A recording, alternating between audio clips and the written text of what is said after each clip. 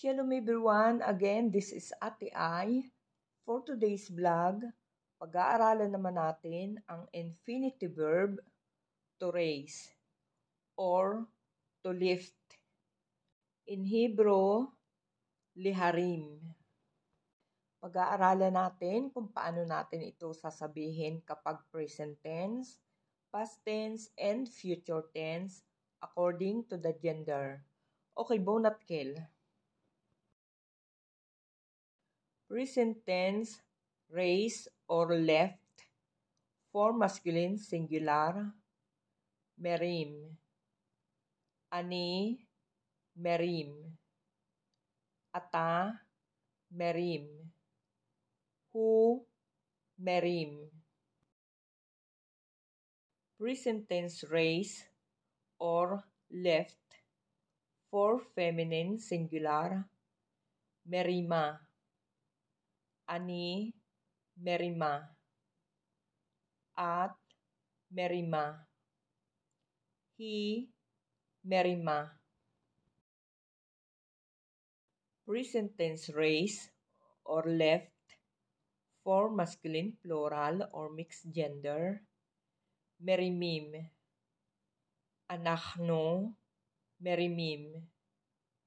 Atem merimim Hem, meremim. Present tense raise or lift for feminine plural, meremot. Anakno, meremot. Aten, meremot. Hen, meremot. Okay guys, for past tense, raised or lifted. Heramti Heramta Heramt Herim. Herima. Heramnu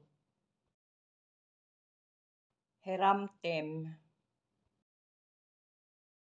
Heramten Herimu. Herimu. Okay, now pag-aralan naman natin kung paano natin ito sasabihin kapag future tense. For future tense, will raise or we lift.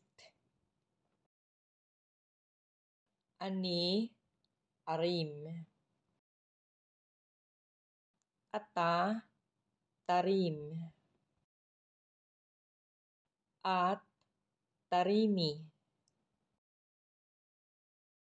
Hu yarim. He tarim.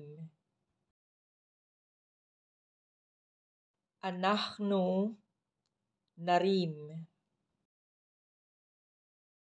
אתם תרימו. אתן תרמנה. הם ירימו. הן תרמנה. Okay guys, ito naman ang imperative or ang command. Imperative raise or lift for masculine singular, harem. Imperative raise or lift for feminine singular, harimi.